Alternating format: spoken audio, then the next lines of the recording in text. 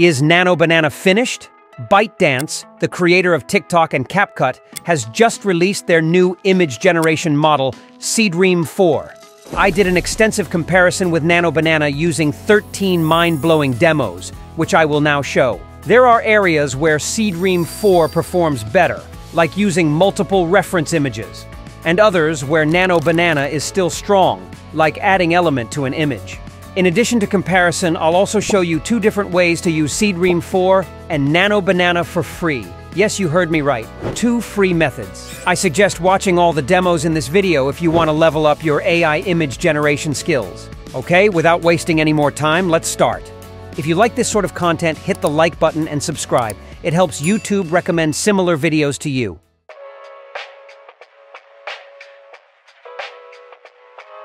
First, I'll show you a free tool called LM Arena. In LM Arena, you can access many different tools. After going to the link I left below, this page will appear. It's important to select the Generate Images option here. Otherwise, Seedream and Nano Banana won't show up in the list. Then, by opening the panel above, we'll choose the Direct Chat option and as you can see, Nano Banana appeared. Now we can use it. At the same time, you can expand this list and search by typing Seedream. As you can see, Seedream 4 is available here with 2K resolution. You can use both tools like this by switching the tool. Let me give you a quick note. LM Arena often updates and changes available tools here, so I'll now show you a second free alternative, which is the OpenArt app. You can think of this app like an aggregator that lets you use many different tools in one place. I will use this tool to compare Seedream and Nano Banana in this video.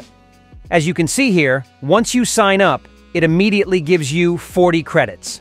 Also, let me open this here so you can see.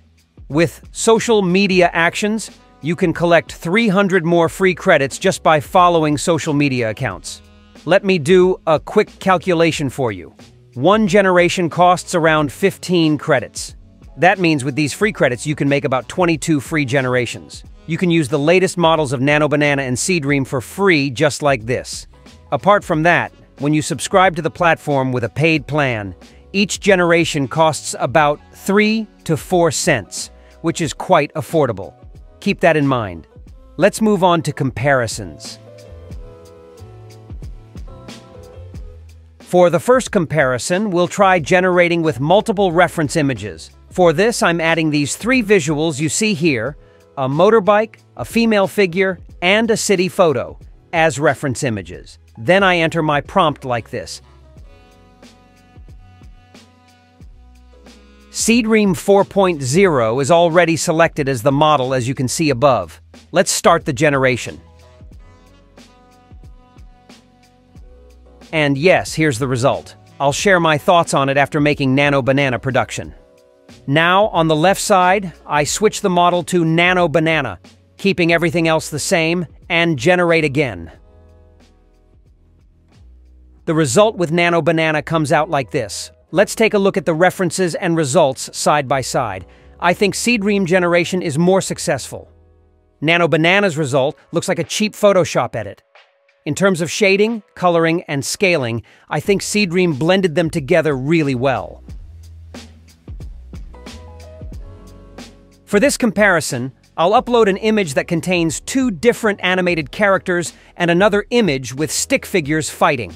To transform these characters into fighting-like stick figures, I'll enter a prompt like this. Again, I'll first try it with Seedream and then apply it with Nano Banana as well. I generate the results. Here's the output from Seedream, and here's the one from Nano Banana. In my opinion, both place the characters quite well, but in terms of angle, I prefer Seedream. It positioned the characters better. The character on the left actually looks more like the stick figure I originally drew on Nano Banana. But overall, as with the first example, I think Seedream is more successful in placement. It really feels like the characters are clashing with each other. With Nano Banana, I didn't quite get that same sense of impact.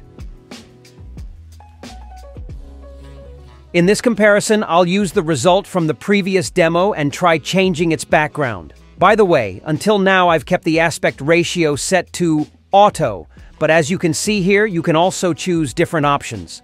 For the rest of the comparisons, I'll generate them all in horizontal format so that the results are easier to compare. So, I'm taking the output from the previous demo and using it here as input. To change the background, I'm entering a prompt like this. I asked it to turn the place where they're fighting into a basketball court. To save time, let's jump straight to the results. Here's the result from Seedream, and here's the one from Nano Banana. Honestly, both are equally good in terms of liveliness. I think Nano Banana did the coloring better. It looks more natural, but Seedream's version feels more appealing. For example, they added people in the foreground and the people in the background spread out more naturally. So, in terms of realism, my points go to Nano Banana. But for overall appeal, I give my points to Seedream. In this comparison demo, we'll place the Hulk on London Bridge. For this, I'm using a stock photo of London Bridge as the base reference. After uploading the photo, I enter a prompt like this. As usual, I first generate with Seedream 4, and then with Nano Banana. Here's the result from Seedream, and here's the one from Nano Banana. I can clearly say that I prefer Nano Banana by far. Seedream did place the Hulk successfully, but it feels like it only adjusted his angle, size, and stance. Nano Banana, on the other hand, really added more depth. It zoomed in, created the effect of stones flying off where Hulk is climbing, and the coloring is much more vivid and striking. Seed Seedream's result looks rather dark in comparison. So here I give 100% of my points to Nano Banana. Now we'll try a more difficult demo. I'll ask the model to extract a character from within a fisheye lens shot. For this, I enter a prompt like this, asking it to take the female figure on the right and generate her from a side view. Here's the result from Seedream, and here's the one from Nano Banana. I found both results successful, but Seedream's coloring looks more realistic to me. Also, the angle it produced is more clearly from the side. In the Nano Banana version, the fisheye effect is still somewhat visible, while in Seedreams it really looks like a proper side view photo. So, although the results are quite close, I'd say I slightly prefer the output from Seedream. Now we'll do a similar test, but this time using an animated image. This time I am asking to extract the main character and place it onto a separate background.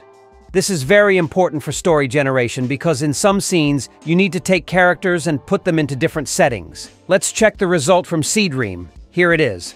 Now let's look at Nano Banana's result. Here it is. Honestly, both did a good job isolating the character, but Seedream made the character appear slimmer, while Nano Banana's version looks more realistic. In the previous demo with a real photo, Seedream performed better at isolation, but in this animation test, I'd say Nano Banana did a better job extracting the character.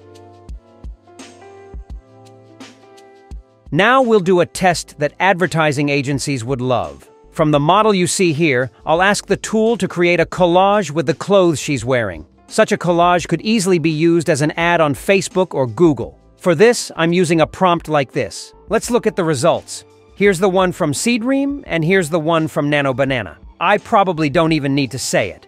Seedream produced a much better result here. Nano Banana did manage to extract the clothes, but the way it placed them doesn't line up properly.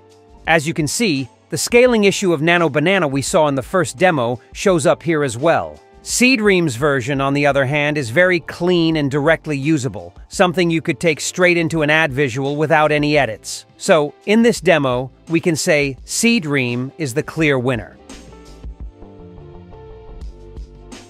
Now we'll do the famous upscale comparison. For this, I'm using an image like this, and I'll try to upscale it to make it more usable.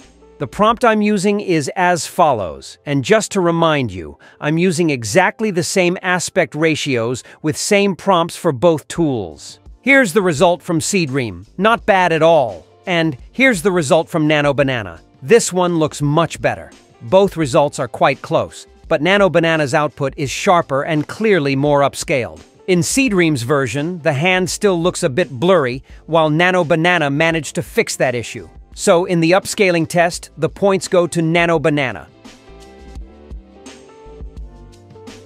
Now we'll compare colorization. In the upscale test, Nano Banana had won. Let's see which one does better this time. I'm using a black and white photo like this, and with a very simple prompt, I'll just ask both tools to colorize it. Here's the result from Seedream. It doesn't look bad. And here's the one from Nano Banana. As you can see, they colorized it very differently. One leaned toward blue tones, the other toward gray tones. But when you look at the clouds, the sea should realistically appear a bit darker, so the dominance of gray tones is more likely. So even though both look nice, Nano Banana's result feels much closer to reality. Just like in the upscale test, Nano Banana comes out on top in this colorization demo as well. Now, let's see how they perform without using an image, only text. And we'll also check how they render text inside the images they generate. For this, I'll ask both tools to create a recipe card for an omelet using the same prompt. First, here's the result from Seedream. It looks quite cute, just one mistake in the content where it wrote mepper instead of pepper. But other than that, it's simple and nice. Now let's check Nano Banana's result. This one also has a small typo in the ingredients part. Honestly, Nano Banana's result looks much more classic, like a real recipe card. Of course, it's a matter of preference. Some might prefer the simpler style of Seedream. But in terms of creativity, Nano Banana wins. It even included details like cook time and prep time, making it feel like a complete recipe card. So in this demo, the winner is Nano Banana. In the next two demos, we'll test character consistency. First, I'll try a close-up. I'll use a normal photo like this and ask for a very close portrait. Here's the prompt I'm using.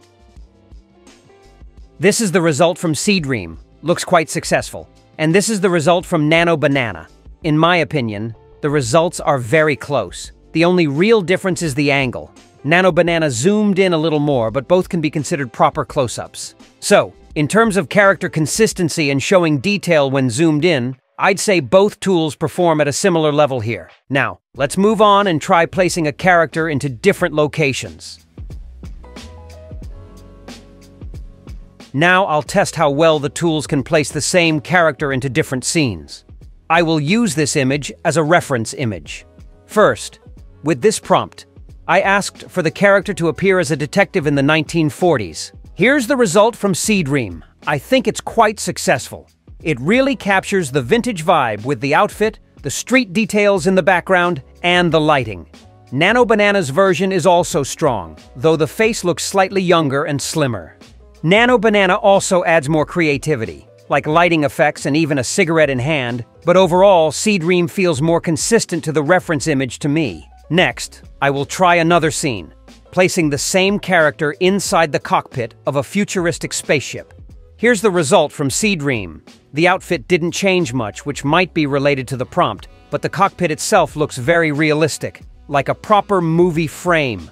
Now, here's Nano Banana's version. It looks cooler, but not as natural. So, in both of these tests, while both tools maintained character consistency, I give the points to Seed Seedream for placing the character more realistically into new scenes. For the final comparison, I want to really test both tools' creativity at the maximum level. For this, I'll use a reference image like this. Using only this image, I'll ask the tools to create a story for me. The prompt I give asks for a story made of five panels and for the last panel to incorporate the reference image I provided. Here's the result from Seedream. I think it looks really sweet. It actually feels like the story of a future YouTuber, planning, filming, uploading to the computer, and getting likes. Now here's the result from Nano Banana. Here, Seedream is the clear winner. In Nano Banana's version, there's almost no character consistency and hardly any story flow. For example, in the fourth frame, it just repeats the last image, and in the third frame, the final panel was simply shrunk down. So in this final test, the clear winner is Seedream. Overall, both Seedream and Nano Banana brought impressive strengths to the table.